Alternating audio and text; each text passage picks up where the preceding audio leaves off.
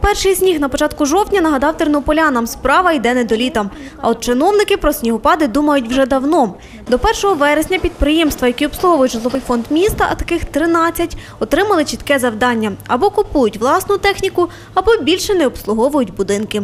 Можуть і орендувати транспорт, як торік, але свій мусять мати. Тому на кожних будинків 30 тракторець з навісним обладнанням тепер на поготові. Разом з технікою чекають свого часу посипні матеріали. Клопочуться комунальники і про те, аби тернополянам не текло і не задувало. Підприємствами, які обслуговують житловий фонд, виконано ремонт 26 тисяч е, покрівлі, м'якої покрівлі, оскільки це є найбільша проблематика.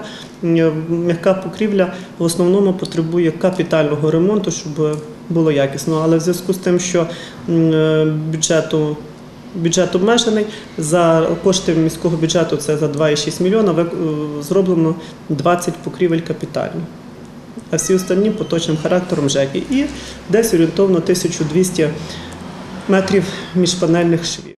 А от вхідні двері в під'їзд – це головний біль його мешканців. Хочете з домофоном, хочете з кодовим замком чи навіть броньовані, але за ваші гроші. Заміна дверей існуючих на е, іншого типу, чи залізні, чи з домофоном, чи з кодовим замком, це є виключно капітальні вкладення. Підприємства, які обслуговують житловий фонд, в тарифі не мають передбачених коштів на цю заміну. Е, Ця заміна проводилася е, років вісім назад. Тоді були так звані депутатські кошти. І виділялися на капітальний ремонт е, або заміну дверей. І тоді було ну, частину 60% встановлено дверей. Е, На сьогоднішній день таких коштів немає. У бюджеті на 2014 рік обіцяють згадати і про дашки над входами у під'їзди. Принаймні про найбільш критичні, хоча і цьогоріч, каже Ганна Муца, відремонтували багато. Усе зроблене чиновники перевіряють і не лише на око, про скарги питають мешканців. Для цього і в аварійну службу 1580 залучили більше волонтерів.